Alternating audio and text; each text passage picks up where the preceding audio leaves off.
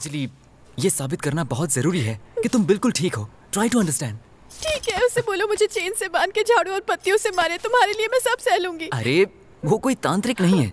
Yes Anoop is right ना ही मैं कोई डॉक्टर हूँ और ना ही मुझे बीमारों का इलाज करना आता है। अगर मैं ऐसा कहूँ तो फिर अंजलि कहेगी कि मैं तो यहाँ पर तेल लेने आया हूँ। मेरा काम है ऐसे भूतों और चुड़ैलों को शीशी में उतारना। अंजलि बिल्कुल सही कह रही। यहाँ आते ही मुझे एक बात तो अच्छी तरह से समझ में आ गई थी कि यहाँ पर कोई तो है जिसके दिमाग में केमिकल लोचा है। अगर तुम मेरा साथ दो तो मैं उस चुड़ैल को चोटी से पकड़कर सबके सामने पटक दूँगा। अगर मैं सच कहूँ तो चुड़ैल तो तुम्हें देख के ही भाग जाएगी। उसके लिए क्या करना होगा? पहले ये पता लगाना होगा कि चुड़ैल लट्टू की तरह यहाँ घूम क्यों रही है। काफ़ी बातें अनूप मुझे व्हाट्सअप कर चुका है लेकिन गीता जिस दिन मरी उस दिन आ, उस दिन क्या हुआ था ये बात मुझे जाननी है। देख क्या रही हो बताओ।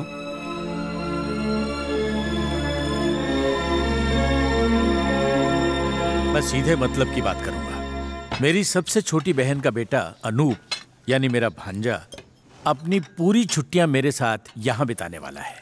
मैं अनूप को जानती हूँ।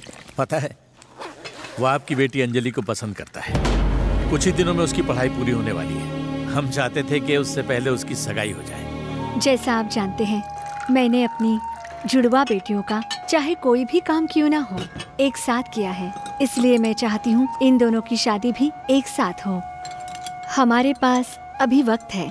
गीता के लिए भी कोई लड़का ढूंढ ही लेंगे। अगर आप कहें तो मैं भी ढूंढना शुरू कर दूँ। मैं मुंबई में अपनी बहन को ये खुशखबरी तो दे दूँ।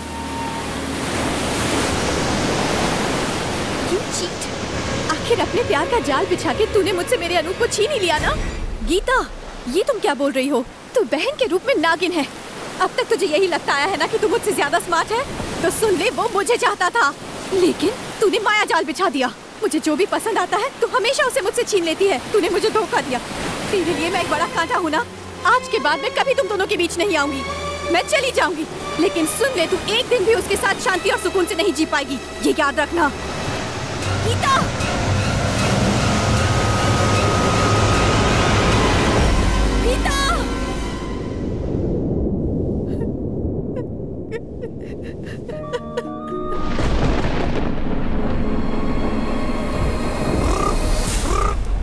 जय कलकत्ते वाली तेरा वचन न जाए खाली। आया है तेरे दर पे सवाली।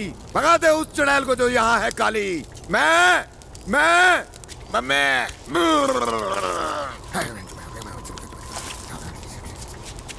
ये नमूना कौन है? तांत्रिक। मतलब फ्रॉडी बाबा। अरे फ्रॉड नहीं तांत्रिक बाबा। भूत को कैद करने आए हैं। इधर ही है वो।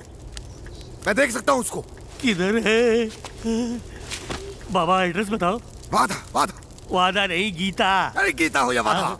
आता था ये तो करते हैं ना। बुलाओ उस चुड़ैल गीता को। बेटा जाओ और जल्दी से गीता को बुलाओ। जल्दी आ यहाँ पर। आया बाबा लेकिन चुड़ैल मैं नहीं हूँ। पता है तू तो भूत है। उस चुड़ैल को लेकर बेटा पुतले की तरह मत खड़ी रहो वहाँ जाओ ना। वाले भूत बाजू हट। लड़की तू आ।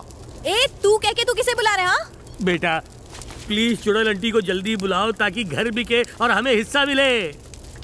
बेटा जैसा ये कहते हैं वैसा करो इसमें कोई नुकसान नहीं होगा और हो सकता है कि ये प्रॉब्लम हमेशा के लिए खत्म हो जाए प्लीज़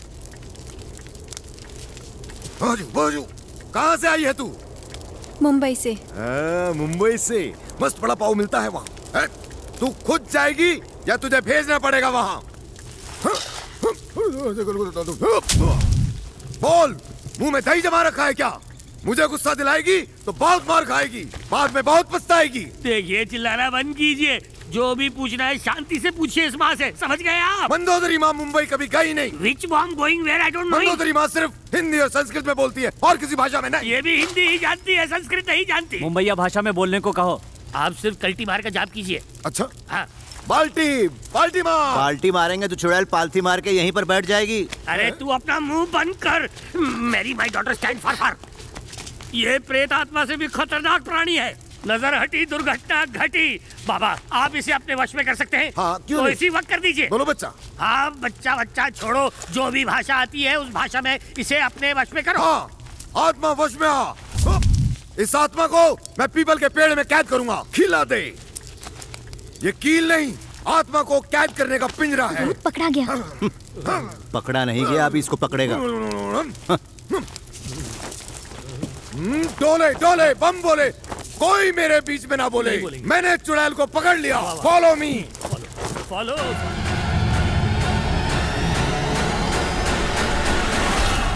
ये लो। दिया खाने रखो। ठीक है बाबू।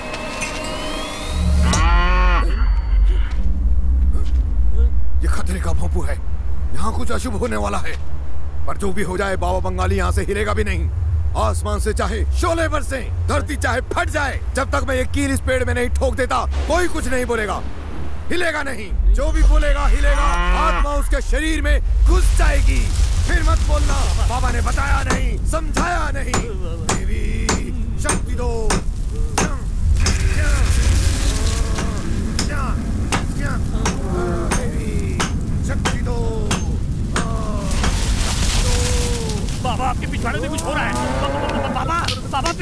叶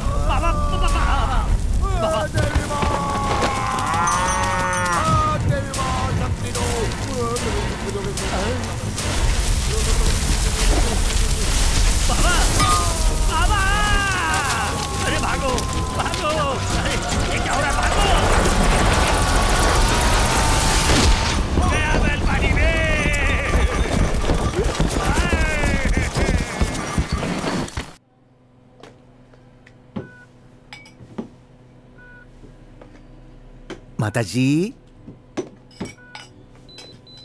अम्मा जी, अंजलि अनूप से प्यार करती थी। अनूप अंजलि से प्यार करता था। अनजाने में गीता अनूप से प्यार करने लगी। गीता ने अनूप से प्यार किया, लेकिन अनूप ने अंजलि से। अनूप भी गीता से प्यार करने लगा, उसे अंजलि समझकर। और जब अंजलि के धोखे में अनूप गीता से प्यार करने लगा हो तो गीता ये समझ बैठी की अनूप उसे वाकई चाहता है और उसका प्यार दुगना हो गया। मतलब ये कि गीता और अंजलि दोनों जुड़वा बहने अनूप को चाहने लगी थी। लेकिन जब गीता को पता चला की अनूप अंजलि से प्यार करता है तो वो उसके ऊपर भड़क गई। गीता अनूप को चाहती थी यह बात अंजलि को पता नहीं थी, यही बात अंजलि ने गीता को बताई। गीता अनूप को चाहती थी, अंजलि अनूप को चाहती थी कि यह बात आप जानती थी, यही बात मैं आपसे जानना चाहता हूँ माता जी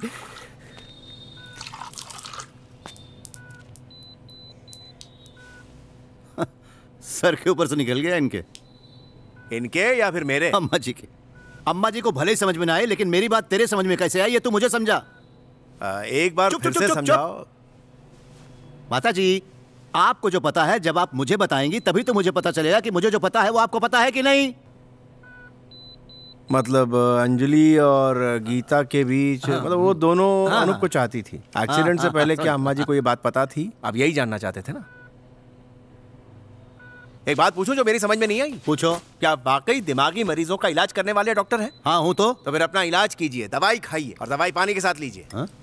पागलों का इलाज करने आजकल पागल आते हैं जो खुद दिमाग से कम है और लोगों को पागल बनाते हैं। माता जी फिर मुलाकात होगी। ये ऐसे लोग खामा खामखा डिस्टर्ब करते रहते हैं। आप फ़िलहाल मेरी बातों पर गौर करिए मौका मिलते ही मैं आपके पास आऊँगा। चलता हूँ।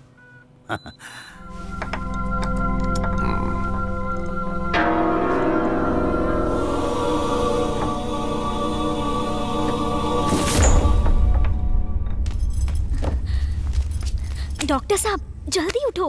कोई आया है? वो भी भूत पकड़ने के लिए आया है। मेरे पेट पे कौन लात मारने आया है?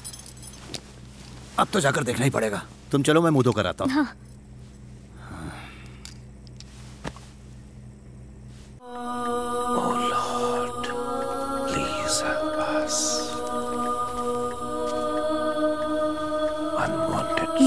ये कौन है? भूत भगाने वाले बाबा। कौन से चर्च से? चर्च का नाम मैं नहीं जानती। वो मैं पता कर लूँगा।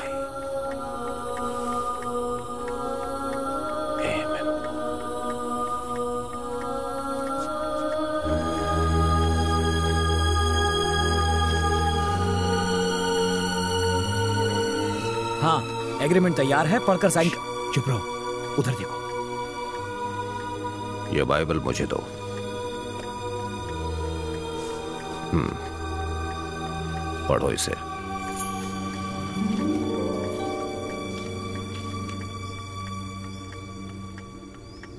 शुरू करो। अंदर जो भी गया उसे जीसस का शरीर दिखाई नहीं दिया। इस बारे में जब वो दोनों चर्चा कर रहे थे तभी बगल में चमकीले कपड़े पहने दो आदमी ज़रूर दिखाई दिए। जब वो डरे सर झुकाए खड़े थे तब उन्होंने इनसे पूछा कि तुम मरे हुए लोगों के बीच ज़िंदा लोगों को क्यों ढूंढ रहे हो? बस।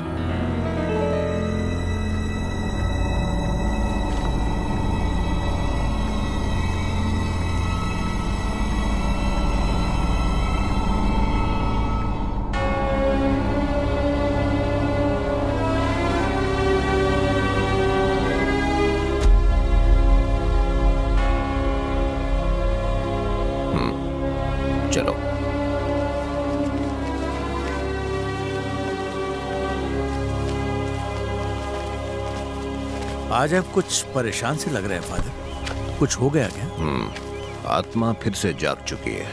इसका मतलब? हम्म। शादी कौन सी तारीख को है? आने वाली तीस तारीख को। हम्म। उसके बाद आप सब यहाँ से चले जाएँगे ना? यहाँ पर कोई रहेगा तो नहीं? नहीं फादर। आ, फादर हम ये घर बेच रहे हैं। वो जो वासु खड़ा है ना वो खरीद रहा है। एग्रीमेंट तैयार हो चुका है। हाँ।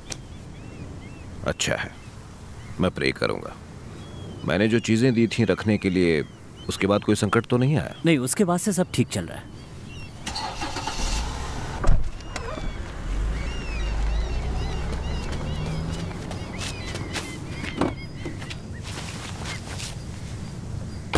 एग्रीमेंट तो ठीक लग रहा है। अगर कोई बदलाव या प्रॉब्लम है तो वकील साहब साथ हैं।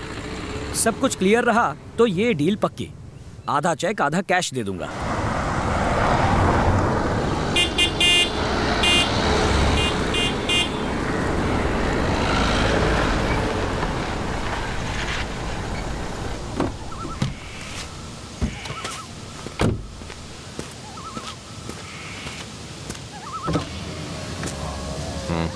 माफ़ कीजिएगा आपको मैंने इस तरह से रास्ते में रोका। मैं डॉक्टर सनी फाटक हम्म। पता है मैंने पूछा था। आप सब कुछ समझ गए लेकिन सारी बातें मन में दबाकर बिना कुछ कहे वहाँ से इस तरह चले क्यों आए सनी ने क्या पूछा वो ठीक से मेरी समझ में नहीं आया। अंजलि ने जैसे ही बाइबल में से पढ़ा कि मरे हुए लोगों के बीच में तुम ज़िंदा लोगों को क्यों ढूंढ रहे हो ये सुनते ही बाइबल बंद करके आप वहाँ से फ़ौरन चले क्यों आए मतलब? आपके विश्वास की और मेरे शक की बुनियाद एक